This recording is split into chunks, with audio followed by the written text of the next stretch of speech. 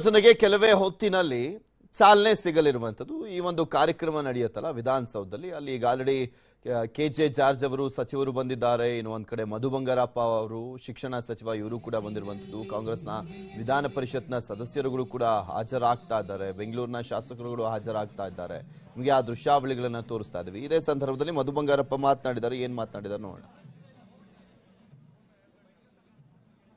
ಸೇವೆಯನ್ನು ತಗೊಳ್ಬೇಕಾಗತ್ತೆ.